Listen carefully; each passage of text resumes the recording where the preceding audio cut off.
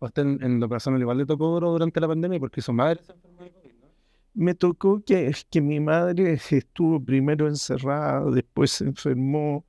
eh, y claro, e- ella es una persona de más de 90 años y a los 90 años que una persona se enferme eh, eh, eh, es complicado. Mi padre ya murió, entonces la- la- mi madre es la única de mis padres que está vivo y obviamente es preocupante. Y ahora tiene 95 años su madre, ¿no? Sí, Ya, ya está un año más y ahora tratar de recuperar el tiempo perdido. ¿La la receta por ahí va para mantenerse también a los 95 igual? Porque 95. Sí, pero- ella es bien activa, hace hartas cosas. Yo creo que eso, eh, eh, yo creo que todavía le queda cuerda para rato, así que 95 y contando, digamos, y hay más. ¿Usted se ve a los 95 de pronto?